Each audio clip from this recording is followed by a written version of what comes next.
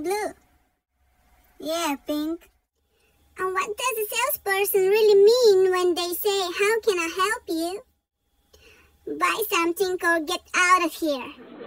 Well, how about when they say, Let me show you where this is?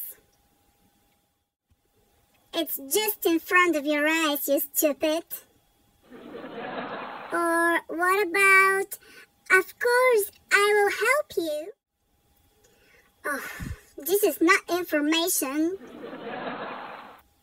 And how about, Have a nice day? Goodbye, and leave a tip next time, please. And what do they think if they don't say anything? Oh, that's an easy one, Pink. They're simply determining how much money can they take out of you. But what about if I don't need to buy anything?